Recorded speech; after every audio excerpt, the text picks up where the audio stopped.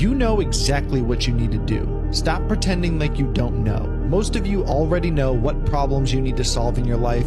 You already know what direction you want to go in. You just need to do it. Well, I don't really have motivation. I, like, the conditions are never going to be perfect. There's never going to be a perfect time. You're not going to be motivated every single day. The weather's not going to be perfect. The stars aren't going to align. You just have to do it.